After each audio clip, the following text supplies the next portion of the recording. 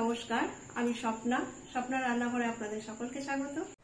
আজকে আমি বানাবো ডিমের লাচ্ছি বা সেমাই। এখানে আমি দুটো ডিম নিয়েছি। এবার প্রথমে আমি ডিম দুটোকে ফাটিয়ে নেব।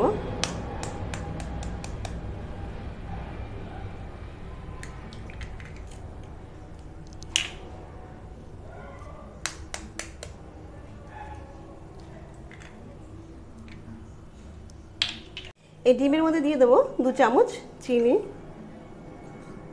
এবার ডিমটাকে ভালো করে ফেটে নেব।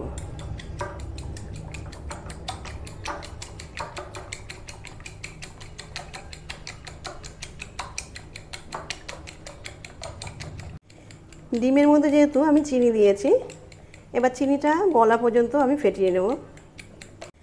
ডিমটা আমার ফেটে নেওয়া হয়ে গেছে। গ্যাসে আমি একটা কড়াইতে হাফ লিটার দুধ দিয়ে দিয়েছি, আর এর মধ্যে আমি দিয়ে দিচ্ছি পঁচিশ গ্রাম গুঁড়ো দুধ। গ্যাসটা অন করা আছে, এই সময় দুধটা হালকা গরম আছে।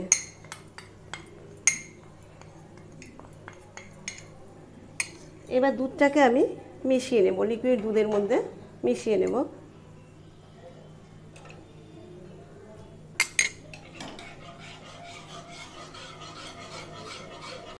দুধটা আমি মিশিয়ে নিয়েছি। অনেক সময় কি হয়, ঠান্ডা দুধের মধ্যে গুঁড়ো দুধ মেশালে পরে দলা পাকিয়ে যায়। তাই আমি এটাকে হালকা গরম করে নিয়েছি।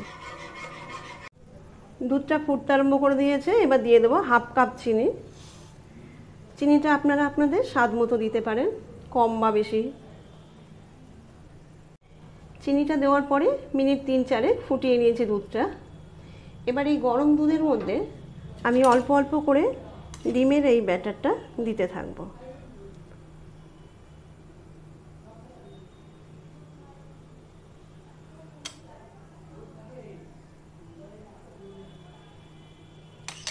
দেওয়ার সাথে সাথে নাড়বো না, দেওয়ার মিনিট খানেক বাদে একটু করে করে এরমভাবে নাড়বো।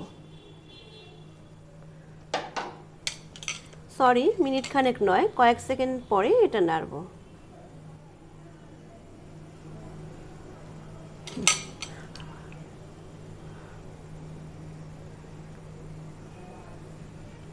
আবার অল্প অল্প করে এইভাবে দেব।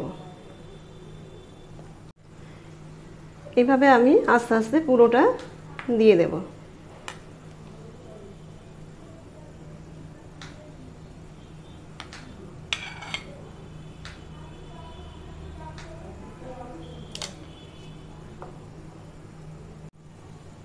সম্পূর্ণ ব্যাটারটাই আমি এইভাবে দিয়ে নিয়েছি।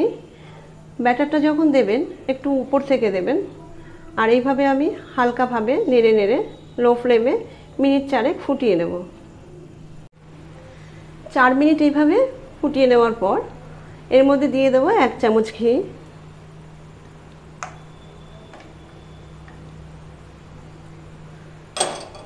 দিয়ে দেবো তিন থেকে চার ফোঁটা ভ্যানিলা এসেন্স। আর দিয়ে দেবো দুটো এলাচের দানা আমি গুঁড়ো করে রেখেছিলাম। যদি ভ্যানিলা এসেন্স না থাকে, তাহলে এলাচের গুঁড়োটা একটু বাড়িয়ে দেবেন। এবার আমি এটা মিশিয়ে নেব।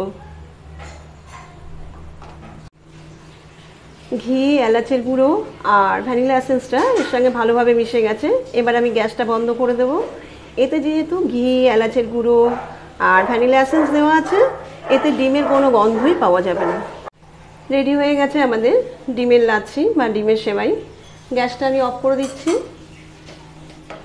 এবার আমি একটা সার্ভিং বলে তুলে নিচ্ছি। এখানে যেহেতু ঘি, এলাচের গুঁড়ো, ভ্যানিলা এসেন্স দেওয়া আছে, তাতে ডিমের কোনো গন্ধই এতে থাকবে না। বাটিতে আমি সম্পূর্ণ ডিমের সেমাইটা তুলে নিয়েছি। এবার আমি ঠান্ডা হওয়ার জন্য অপেক্ষা করব।